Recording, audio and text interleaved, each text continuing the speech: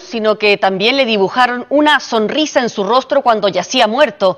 La detención de los tres autores del crimen de un joven en una discoteca de Recoleta dejó descubierto el origen de este macabro homicidio. Serias diferencias entre hinchadas de clubes de fútbol peruano. Carla Rodríguez con la nota.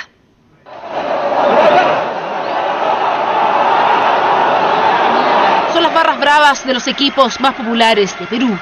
Desde 1980 para los hinchas de Universitario y Alianza Lima, cada clásico se ha convertido en una batalla tanto dentro como fuera de la cancha. Un fanatismo delictual que se trasladó a nuestro país y que ha terminado con ciudadanos peruanos muertos por discusiones futbolísticas. Si son inocentes, ¿por qué no dan la cara?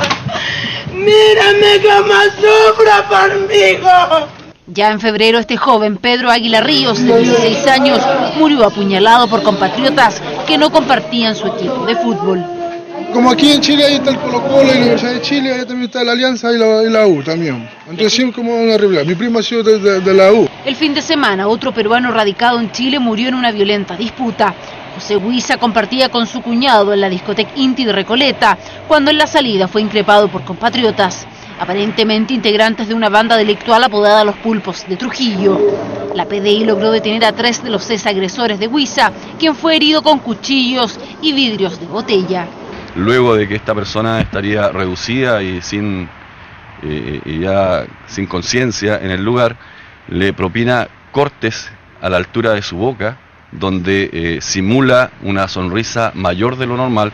Esa extensión en su boca sería una U, la U de Universitario de Lima. Es una rivalidad que tiene que ver con el, tema deportivo, que ellos son hinchas y se, así comienza una discusión al interior que termina de la forma que le acabo de señalar, con este eh, homicidio con tanto ensañamiento. Él era de la alianza, pero él nunca estaba correteando ni con poler, ni que por allá haciendo así. Y han pasado cosas ya de la alianza con, con se llama? Pues, con la U. Se ensañaron con él porque yo digo, es tan cobarde, cobarde, porque un hombre se quiere pelear, se pelea puño a puño.